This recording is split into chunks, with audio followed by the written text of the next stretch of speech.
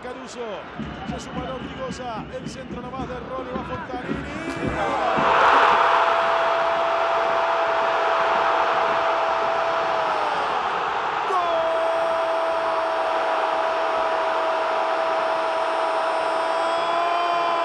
de San Lorenzo Caruso.